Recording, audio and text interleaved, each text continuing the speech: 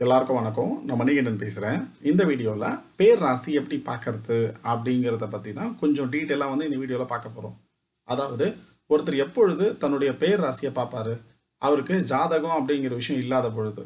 அப்படி இல்லைன்னா வந்து அவருக்கு வந்து ராசி கட்டம் நவாம்ச கட்டம் எதுவுமே தெரியாது. அப்படி இல்லைனா ஜாதகம் அப்படிங்கிறது தொலைஞ்சு போயிடுச்சு.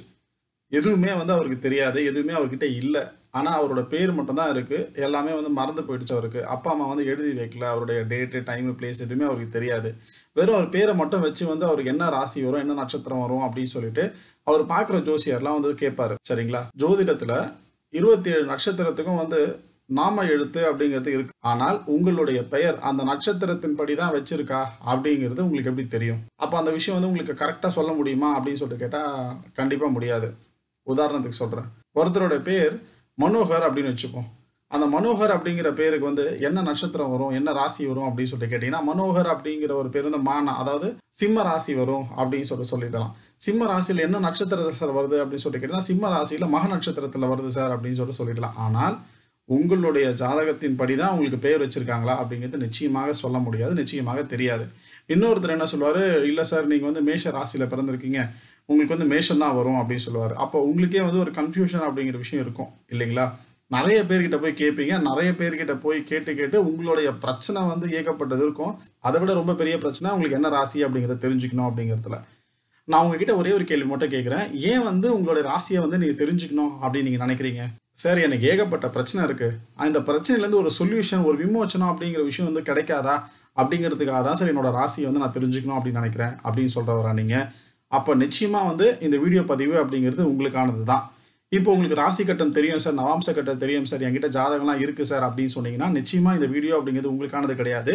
ஆனால் இந்த வீடியோ முழுமையாக பாருங்கள் பார்த்துட்டு உங்களுக்கு மனசுக்கு திருப்தியாக இருந்தால் மற்றவர்களுக்கு நிச்சயமாக ஷேர் பண்ணுங்கள் அது வந்து யாருக்கு வந்து அவங்களுடைய ஜாதகம் இல்லையோ அவங்களுக்கு நிச்சயமாக யூஸ்ஃபுல்லாக இருக்கும். புரியுதுங்களா?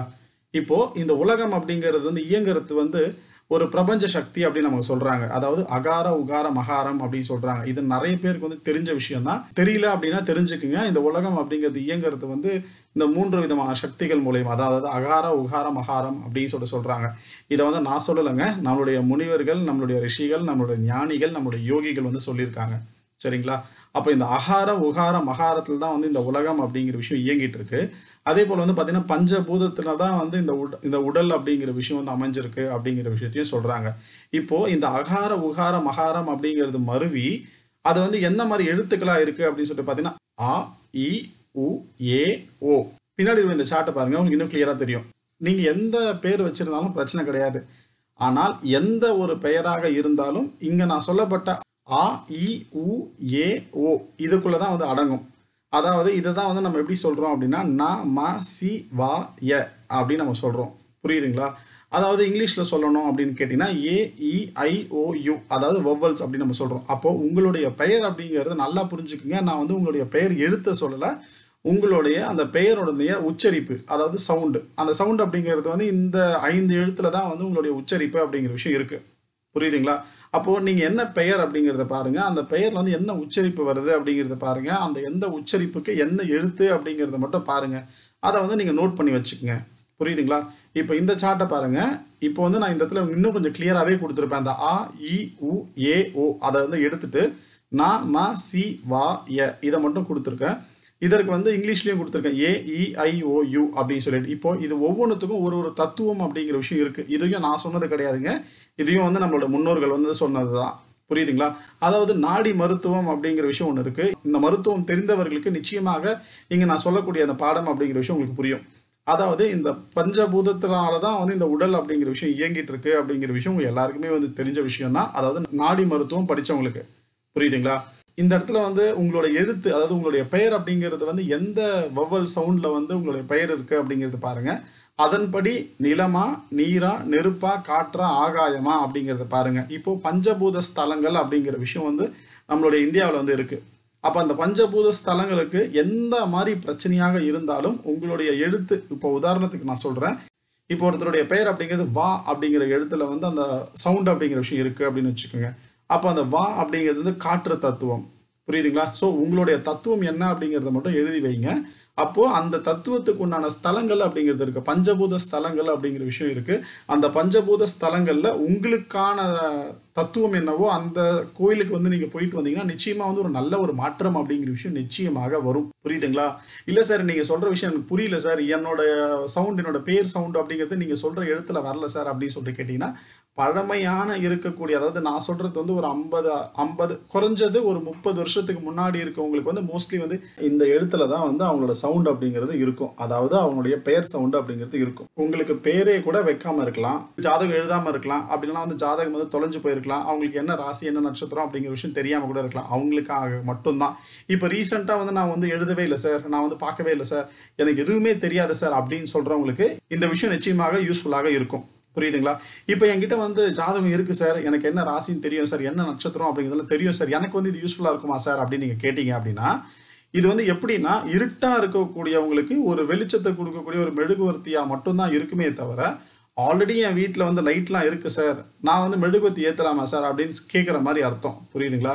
சார் நீங்கள் சொல்கிற விஷயங்கள் கரெக்டு தான். ஆனால் நீங்கள் சொல்கிற விஷயம் வந்து வெறும் இந்துக்களுக்கு மட்டும்தானா? நான் வந்து கிறிஸ்டியன் சார் நான் வந்து முஸ்லீம் சார். அப்போ எனக்கு வந்து இந்த விஷயம் கிடையாதா சார்? அப்படின்னு நீங்கள் கேட்குறவராக இருந்தீங்கன்னா நல்ல ஒரு விஷயத்த புரிஞ்சுக்குங்க. நிலம் நீர் நெருப்பு காற்று ஆகாயம் அப்படிங்கிற பஞ்சபூதம் அப்படிங்கிறது வந்து எல்லாருக்குமே பொதுவான ஒரு விஷயம்தான். ஆனால் இந்துக்கள் அப்படிங்கிறவங்க வந்து என்ன பண்ணுறாங்கன்னா எல்லாத்துக்குமே இந்த ஸ்தலம் அப்படிங்கிற விஷயத்த வச்சு வழிபடுறாங்க. அவ்வளோதான் சரிங்களா?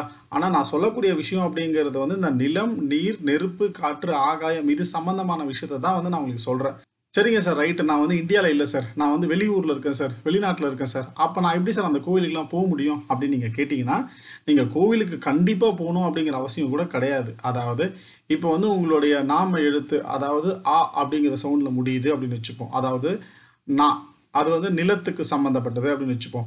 நிலம் சம்மந்தமான விஷயங்களை என்ன செய்யலாம் அப்படின்னு சொல்லிட்டு கேட்டிங்கன்னா முடிஞ்ச அளவுக்கு கால் அதாவது ஷூ ஸ்லிப்பர்ஸ் எதுவுமே இல்லாமல் பூமியில் வந்து நடக்கிறதுக்கு வந்து நிறைய வந்து ப்ராக்டிஸ் பண்ணுங்கள் நிறைய வாக்கிங் அப்படிங்கிற விஷயத்த செய்யுங்க. இது வந்து கேட்கறதுக்கு வேணால் வேடிக்கையாக இருக்கலாமே தவிர இதை நீங்கள் செஞ்சு பார்த்தீங்கன்னா நிச்சயமாக வந்து ஒரு பெரிய ஒரு மாற்றம் அப்படிங்கிற விஷயம் உங்களுக்கு கிடைக்கும். சரிங்களா? அடுத்து நீர் அதாவது ஈ அப்படிங்கிற உங்களுடைய பேர் அப்படிங்கிறது ஈ அப்படிங்கிற சவுண்டில் வந்து முடியுது அப்படின்னு வச்சுப்போம். இல்லை ஈ அப்படிங்கிற சவுண்டில் இருக்குது அப்படின்னு வச்சுப்போம். அப்போ வந்து உங்களுக்கு வந்து தத்துவம் அப்படிங்கிறது நீர். அப்போ என்ன பண்ணணும் அப்படின்னு சொல்லிட்டு கேட்டிங்கன்னா நீர்நிலை இருக்கக்கூடிய ஒரு இடத்துக்கு வந்து அடிக்கடி வந்து போயிட்டு வாங்க. மாதத்தில் ஒரு தடவை போயிட்டு வருவது அப்படிங்கிறது நல்லது. வாரத்தில் ஒரு தடவை போயிட்டு வர்றது கூட நல்லது.